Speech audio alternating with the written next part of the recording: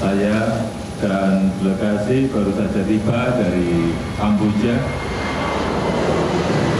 Serah terima Ketua ASEAN tahun 2023 telah dilakukan hari ini dan saat menerima keketuaan ASEAN saya menekankan bahwa ASEAN harus semakin kuat sebagai epicentrum pertumbuhan dunia. ASEAN harus tetap menjadi kawasan damai, menjunjung tinggi nilai-nilai kemanusiaan dan demokrasi, menjaga hukum internasional, dan tidak menjadi proksi siapa pun.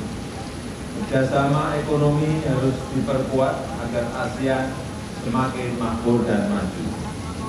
Kemudian tentang persiapan KTT G20, saya sudah dapat laporan bahwa semuanya sudah siap, 17 kepala negara hadir, dan ini sangat mengembirakan di tengah masa yang sangat sulit seperti sekarang ini. Apalagi Presiden Joe Biden dan Presiden Xi Jinping juga akan hadir. Indonesia terus memperjuangkan perdamaian dunia serta menjadi bagian dari solusi berbagai krisis dan pemulihan ekonomi. Terima kasih.